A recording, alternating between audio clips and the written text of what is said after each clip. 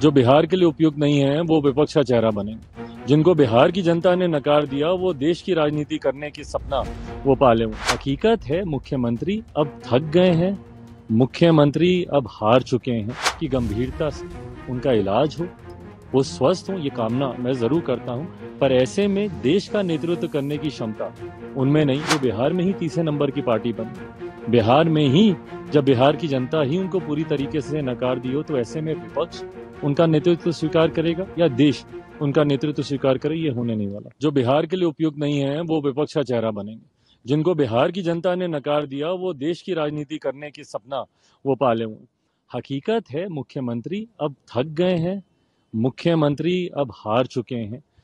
एक मैं सिर्फ़ उनके उम्र की मैं बात नहीं कर रहा पर जिस तरीके से आज तक मतलब आए दिन उनके स्वास्थ्य को लेकर, उनकी मानसिक स्थिति को लेकर जो अफवाहें सामने आती ऐसे में ज़रूरत है कि गंभीरता से उनका इलाज हो, वो स्वस्थ हो, ये कामना मैं ज़रूर करता हूँ, पर ऐसे में देश का नेतृत्व करने की क्षमता उनमें नहीं है, जो बिहार में ही तीसरे नंबर की पार्टी बन गई।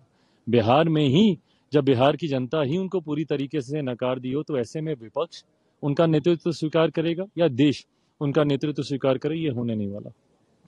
से दो बजे तक स्थगित हो गया लेकिन पिछले कई दिनों से सदन नहीं चल रहा है और विपक्ष मांग कर रहा है कि गृह मंत्री आए सदन में बयान दे बाहर क्यों बयान दे रहे हैं? देखिए ये एक गलत परंपरा की शुरुआत जिस तरीके से विपक्ष के द्वारा की जा रही है हर चीज़ पे गतिरोध लगाना और मुझे नहीं लगता कि कोई सत्र ऐसा है जब किसी ना किसी एक मंत्री या प्रधानमंत्री के नाम को पकड़कर ये लोग अड़ ना जाए कि जब तक वो नहीं आएँगे तब तक हम लोग सदन चलने नहीं देंगे।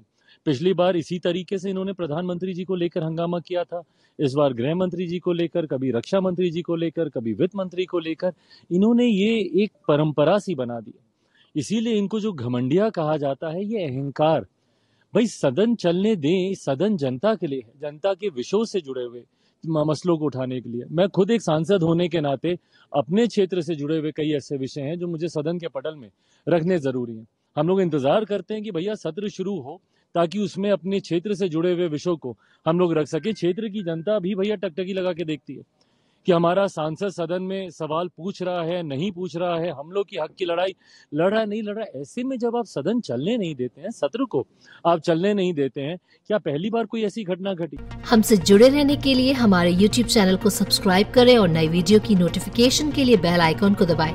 अगर आप ये वीडियो फेसबुक पर देख रहे हैं तो लाइक ज़रूर करें और ज़्यादा से ज़्यादा शेयर करें। धन्यवाद।